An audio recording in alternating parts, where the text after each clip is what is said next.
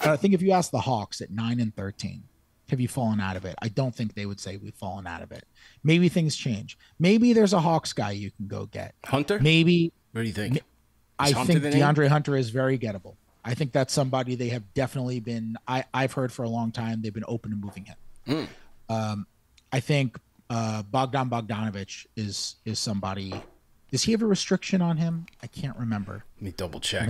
Well, he, just, he his deal kicked in when last year, right? Right. I don't think he has a restriction on him.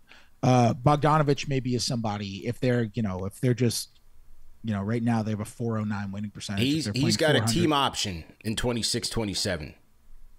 So he's got 18 this year, 17, 16, and then a team option for 16. Gotcha. So, I mean, that's a good contract for him.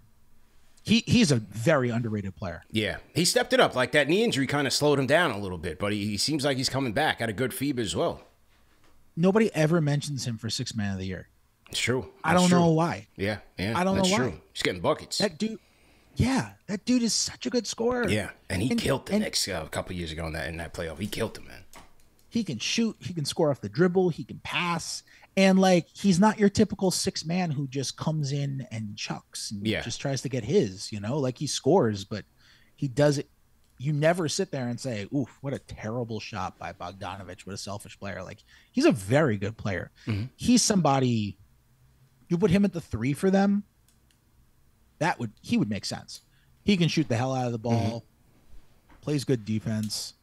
Yeah, I mean there are a couple of guys on on the Hawks who I think could make sense in that in that way. I I don't think it would take a ton to get DeAndre Hunter, but I think there's a reason it wouldn't take a ton to get DeAndre Hunter. He Yeah. again has kind of an expensive contract and and and he's very hit or miss. He's not quite the defender that everybody expected him to They, be. they thought he was going to be the next Kawhi. Remember when he was coming out of UVA, man? They thought that was the next Kawhi Leonard.